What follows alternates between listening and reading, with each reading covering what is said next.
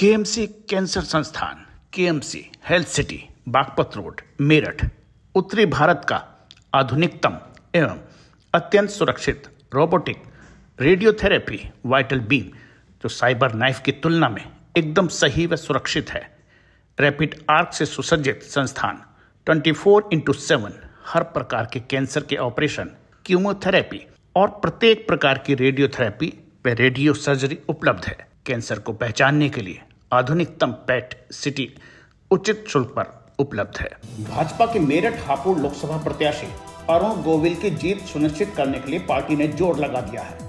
PM Modi की rally के बाद पार्टी के स्टार प्रचारक स्मृति ईरानी ने मेरठ पहुंचकर भाजपाइयों में रक्त का संचार करने का काम किया। मेरठ में ही पश्चिमी उत्तर प्रदेश के लोकसभा सीटों के लिए मीडिया वॉर सेंटर स्थापित कर दिया गया है। यहाँ राधा गोविंद मंडप में लोकसभा वॉलेंटियर्स महिलाओं में जोश भरने के लिए केंद्रीय मंत्री स्मृति ईरानी ने भी सभी से ज़्यादा से ज़्यादा मतदान करने की अपील की। इस मौके पर केंद्रीय मंत्री स्मृति ईरानी ने कहा कि यह मेरठ वासियों का सौभाग्य है कि उनके प्रत्याशी धारावाहिक रामायण में भगवान राम की भूमिका निभाने वाले अरुण गोविल हैं। भाजपा के तेज तरार नेता स्मृति ईरानी ने सपा द्वारा बार बार प्रत्याशी बदलने पर भी तंज किया। इससे पूर्व भाजपा प्रत्याशी अरुण गोविल ने कहा कि मोदी जी ने यदि 400 पार का नारा दिया है तो इसके ज़रूर कोई मायने हैं। इसके अलावा, यदि मतदान में कोई कमी रह गई तो यह सवाल किया जाएगा, क्या राम के प्रति आस्था में कोई कमी हो गई है? पहले देखिए, क्या कहा केंद्रीय मंत्री स्मृति ईरानी ने? मेरठ लोकसभा क्षेत्र अपने आप में इतनी भाग्यशाली है कि जो स्क्रीन पर भगवान की प्रतिमूर्ति थे, आज वो साक्षात प्रत्याशी के नाते आपके सम्मुख उपस्थित है। मेरठ लोकसभा क्षेत्र अपने आप में भाग्यशाली है कि साक्षात अरुण यहाँ पर प्रत्याशी के रूप में विकास का नया सूरज उगाने के लिए उपस्थित हुए हैं। जब मौत मंडरा रही थी सर पर, तब न सपा का कोई कार्यकर्ता दिखा, न बसपा का। ये भारतीय जनता पार्टी का कार्यकर्ता था, जिसने गाँव गाँव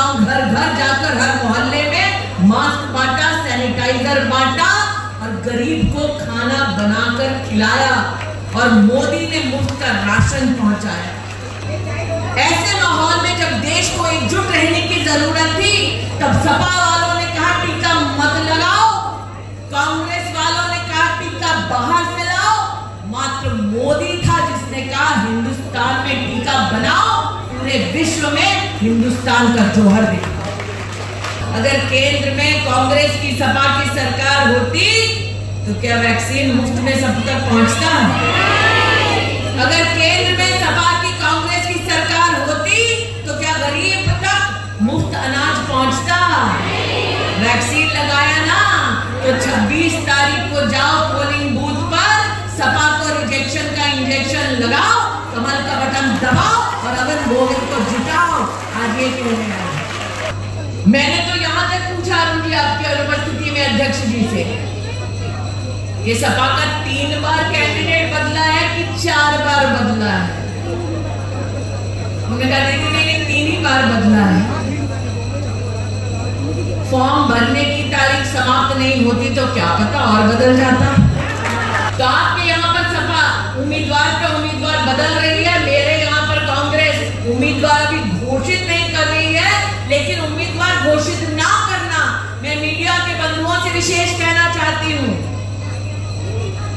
हिचक मात्र एक है क्योंकि पहले में वायनाड का चुनाव लड़ना है, फिर उत्तर भारत आना है। और वायनाड में वो कैसा चुनाव लड़ रहे हैं? वायनाड में पीएफआई नाम का आतंकी संगठन है, जिस पर प्रतिबंध लगाया है भारत की सरकार ने। उसके राजनीतिक नेताओं के समर्थन से राहुल गांधी वायनाड में चुनाव लड़ रहे हैं। और इसीलिए आपको सोचना है कि जिनको सत्ता की इतनी भूख है कि वो आतंकवादी संगठन का भी समर्थन ले ले, क्या ऐसे लोग हमारे लोकतंत्र के लिए खतरा नहीं है? लोकतंत्र में कांग्रेस पार्टी का विश्वास नहीं, संविधान में कांग्रेस पार्टी का विश्वास नहीं। आज मैं सरेआम डंके की चोट पर मेरठ की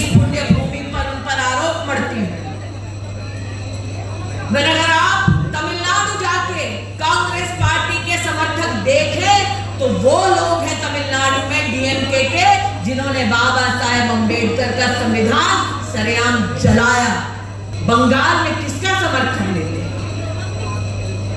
बंगाल में गांधी खानदान कांग्रेस के नेता उनका समर्थन लेते हैं, जो राम नवमी का जुलूस निकालने वाले राम भक्तों के ऊपर पथराव करते हैं। राम का नाम लेने पर लोगों को प्रताड़ित करते हैं सरेआम बंगाल में जो नौजवानों को मौत के घाट उतार कर उनकी लाशों का प्रदर्शन करते हैं, ऐसे लोगों से कांग्रेस के नेता समर्थन लेते हैं। इसलिए आज भारतीय जनता पार्टी की कार्यकर्ता होने के नाते मैं इस बात का गौरव करती हूँ, मेरी पार्टी का एक एक कार्यकर्ता डंके की चोट पर बता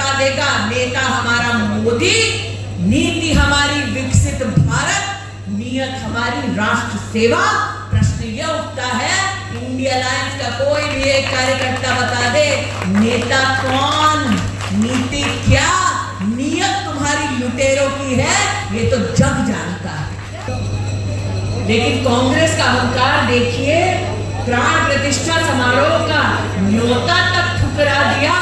अरे जो भगवान को ठुकरा दे वो इंसान का क्या खाक हो पाएगा? इसलिए इस मौके पर मेरठ हापुड़ लोकसभा प्रत्याशी अरुण गोविल ने यह कहा। हम उस व्यक्ति को उस दल को वोट दें जो हमारे लिए अच्छा ये डिसीज़न हमें खुद करना होता है और खुद को ही करना भी चाहिए। चारों तरफ़ देखकर एक एटमोसफेयर क्या है? हमारे शहर में क्या प्रगति की है? हमारे देश में क्या प्रगति की है? हमारे प्रदेश में क्या डेवलपमेंट हुई है? इस सबको देखकर एक फैसला लेना होता है। क्योंकि जब देश की प्रगति होती है तो प्रदेश की प्रगति होती है। प्रदेश की प्रगति होती है तो लोकसभा सीट की प्रगति होती है। अब तब हमारे शहर की भी प्रगति तभी होती तो जो मेरा अपना विचार है, वो मैं आपको बता देता हूँ। मेरे लिए जो दल है एक्चुअली भारतीय जनता पार्टी है। और जो प्रत्याशी है यहाँ से तो जो मेरा अपना मानना है फैसला आप ऊपर है आप देख लीजिए, पिछले दस साल में क्या हुआ है। उन्होंने चार सौ का आंकड़ा दिया है मोदी जी ने। मुझे लगता है वो आंकड़ा ऐसे ही नहीं दिया है। उसका कोई तो कारण होगा पीछे, क्योंकि वो कोई भी काम ऐसे ही नहीं करते। उसके पीछे उनकी सोच होती है बहुत बड़ी। देश के लिए उनकी सोच होती है, राष्ट्रवाद होता है उसके पीछे। हो सकता है कुछ ऐसे काम वो करने वाले हों जिसके लिए चार सौ के आंकड़े की ज़रूरत पड़े। तो इसलिए वो आंकड़ा भी हमें पार करना है।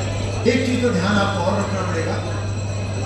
अन्यथा हो सकता है कि इस लोकसभा से, आप लोगों से, पुरुषों से भी कुछ सवाल पूछ लिए जाए। इस चुनाव के रिज़ल्ट के बाद तो क्या हो सकता है? बाईस जनवरी को रामलला की प्राण प्रतिष्ठा हुई और वो अपने घर वापस आए। उसके दो महीने बाद वो व्यक्ति जिसने श्री राम का चरित्र निभाया था उसकी भी घर वापसी हुई यहाँ पे आपको ये बात ध्यान में रखनी होगी कि ये सिद्ध करना होगा कि आपकी आस्था श्री राम ने कितनी इसलिए ये जो व्यक्ति आपके सामने खड़ा है है। उसके लिए बताना होगा आपको कि ये यहाँ से रिकॉर्ड जीत हासिल करेंगे। और मैं ये बात बहुत क्लियर करना चाहता हूँ आपसे कि ये मैं, मेरे लिए नहीं कह रहा ये मैं इस कॉन्स्टिट्युएंसी के लिए कह रहा हूँ। ये हमारी उस आस्था का प्रतीक होगा जो हमारी भगवान श्री राम में है। हमें प्रूव करना होगा, सिद्ध करना होगा। इस खबर में फ़िलहाल इतना है। आप देखते रहिए फ़र्स्ट बाइट नमस्कार।